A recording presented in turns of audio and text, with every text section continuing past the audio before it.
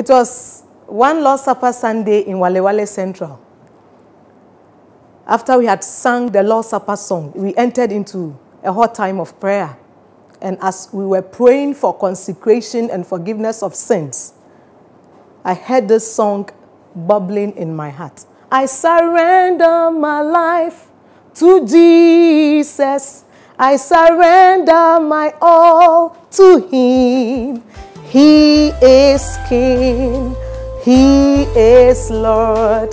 I give my life to Him. I surrender.